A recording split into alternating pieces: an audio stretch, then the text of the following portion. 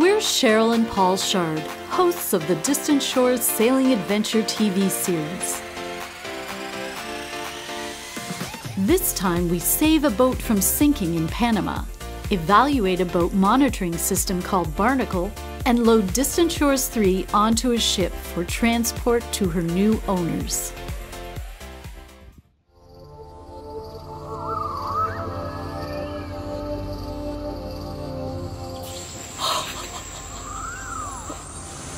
These jungle walks in the morning are so great. The howler monkeys make such a huge noise and they're just cute little guys like this.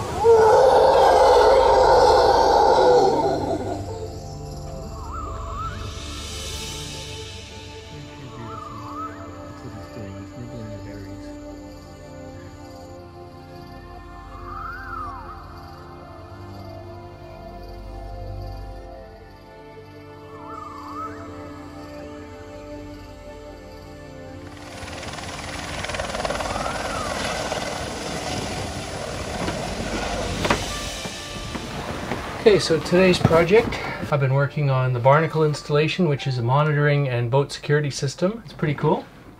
It's this little box here. Basically the central hub of the system, which includes a uh, GPS receiver, various sensors to detect battery voltage.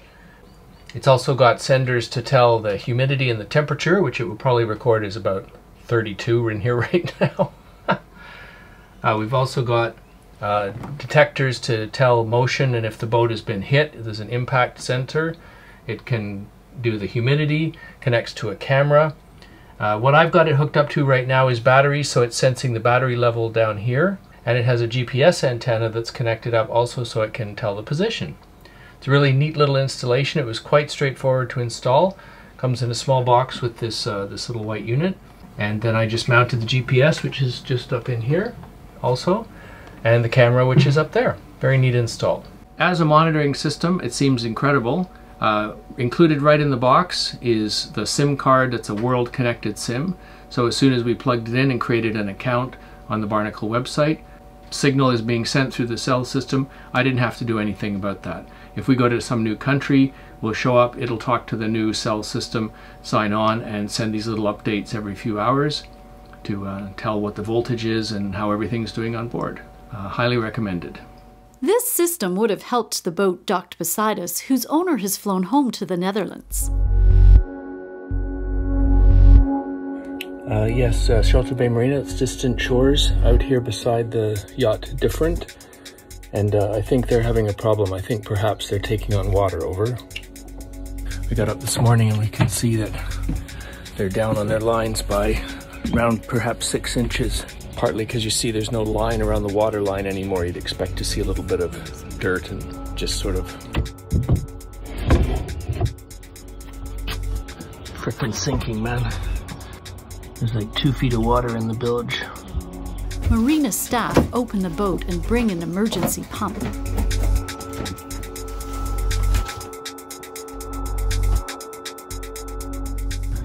So it looks like the power's off, so we haven't got the bilge pumps running. Great, it's all in Dutch. Lens pump, Z water pump. That must be seawater pump, but I don't know if it's bilge.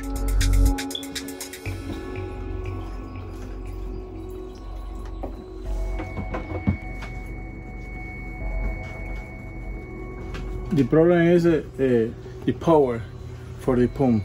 Yeah. Off. Low battery. No bother. So there's no charging in the battery. Exactly. And now the batteries are underwater probably. Exactly. The whole electrical system, half of it is underwater, I guess. The rain was super heavy, the, pumping, electric no power working, wasn't The working. alarm, no no. And because the power was off, the alarm didn't come on either, or we would have heard the alarm. The thing is, the water tastes fresh, so you know they haven't got any seawater. It's only water mm-hmm. that's come in from from the fresh, which has to be from the rain, because your water was turned off outside, right? That is not correct. Over 12,000 liters, 3,000 gallons of water have come in, and it just couldn't all have come from rain in just one evening. The secret lies in the differing density of salt and fresh water. Turns out I should have literally dug a little deeper for the answer here. The fresh water dripping in from the rain formed a layer that stayed separate from the salt water, which was leaking in from a broken fitting below the water line. I tasted the water on the top of a bilge two feet deep. The heavier salt water kept lifting the freshwater layer up, and with the calm conditions in the marina, the two masses of water stayed apart. After an hour, the bilge pump has dumped most of the water, but after another hour of trying to trace systems, I'm still not confident I can fix the problem. The owner isn't in the country, and eventually the decision is taken to haul out the boat and sort the problem in the boatyard.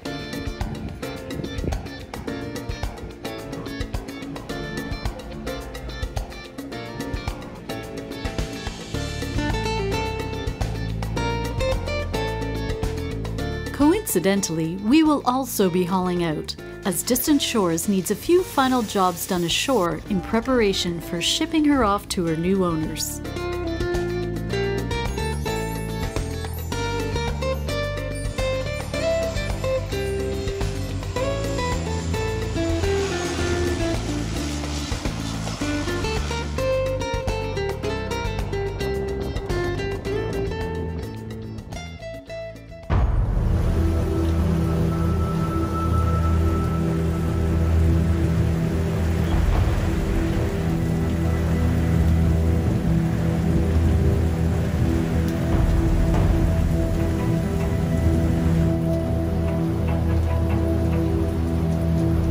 It's the last morning on the boat before she gets loaded on the ship, apparently.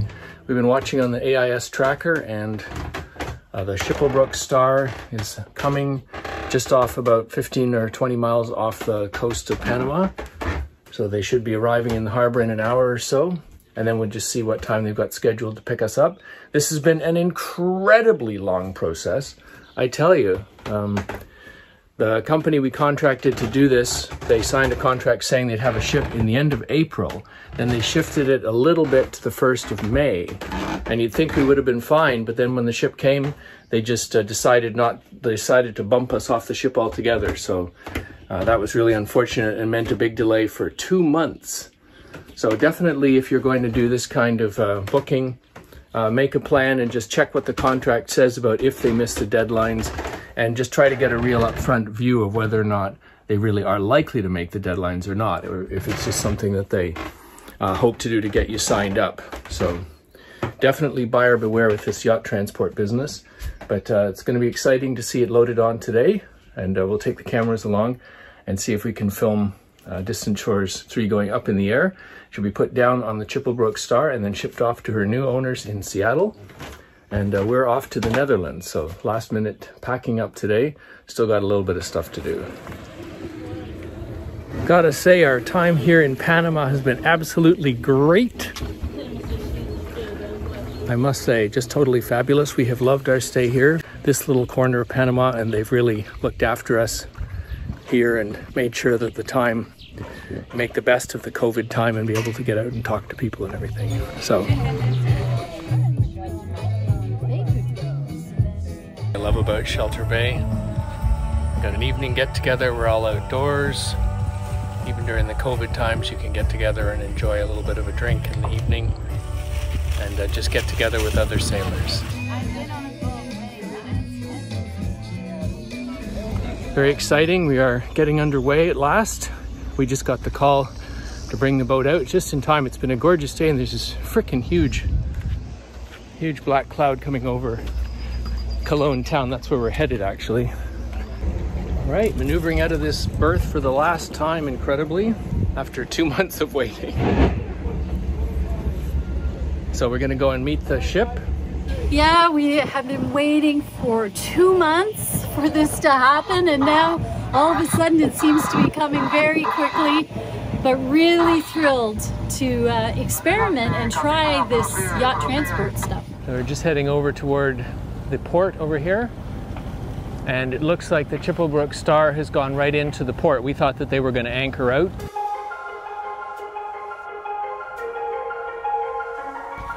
It's a busy time like crazy. Sheryl's talking to Enrique on the phone. We've got about 15 minutes to go, I guess, until we get into the area by the Chipolbrok Star. And uh, we should be loading. We're supposed to be one of the first loading and we'll be over there shortly.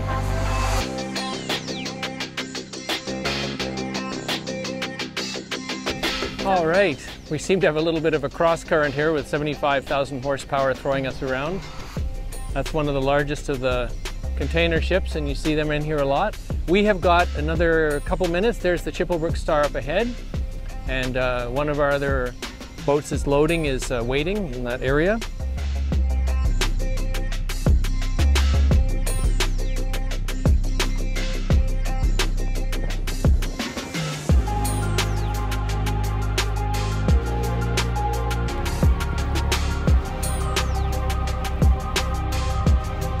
The Chipolbrok Star is 660 feet long and has been chartered by our yacht transport company, who has crammed the deck with yachts bound for the US West Coast. Chipolbrok is a heavy lift class ship and can load herself with her large deck mounted cranes rated for 300 tons. This ship loaded most of these yachts in Florida, all bound for the Pacific coast, and they left room for the five of us loading here in Panama. That's very cool. It's like they lift with both of the slings are aft of the mast instead of having one in front of the mast like you'd normal with the travel hoist. But of course we have to remove the backstay, so I'm just gonna get ready and take the backstay off next. Okay guys, so this is probably it. We're, they're just finishing loading. You can see in the background, they're just loading the uh, catamaran that they just lifted. So they'll be loading us and then they're not letting us stay around. So as soon as basically the slings get on and before they lift her, then they're going to uh, kick us off. So we've got the boat ready to turn it off, turn everything off, and uh, we'll be back to the marina again.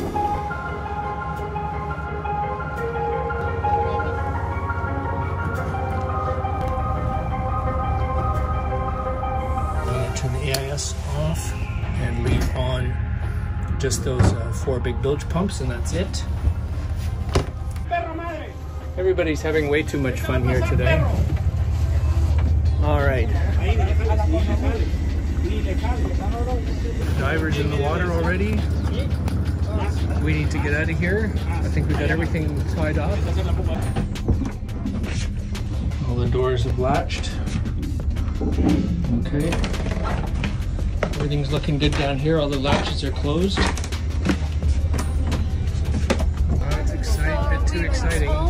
Have to leave the key in the door so that customs can check the boats. Pretty exciting. We are out of here, Cher. We're climbing off. Yep. The last time at Distant Shores Yeah, last Thanks all for coming with all the Yeah, trips. thanks everyone.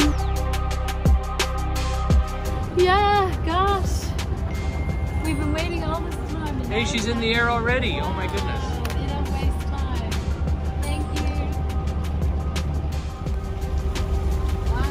All right, it's already higher than I've ever seen our boat ever. She's flying. And we can read Chipolbrok in the star. Look at that, there she is, 20 feet up off the water. Never seen that before. 25 feet off the water, look at that, look at that. There's the water. She's 30 feet up in the air.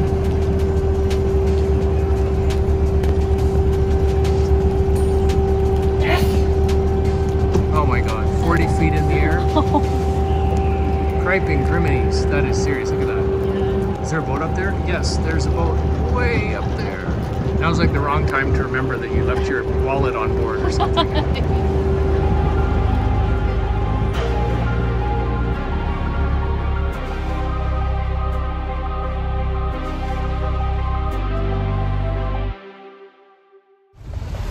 day for our departure. Man, this looks like the heaviest rain we've seen all year so Yeah, far. it's it's Panama, our shelter base way of crying for you guys living, you know? With the downpour, we got word that there were roads flooding and we could be held up. So kindly Wanho is taking us to Panama City and it's going to be an adventure. That adventure starts as we fly from Panama to the Netherlands to begin the project to build Distant Shores 4. Join us next time as we look at options for the ultimate tough aluminum expedition sailboat. Please give us a thumbs up if you enjoyed this episode and subscribe to follow on as we go through the custom build process.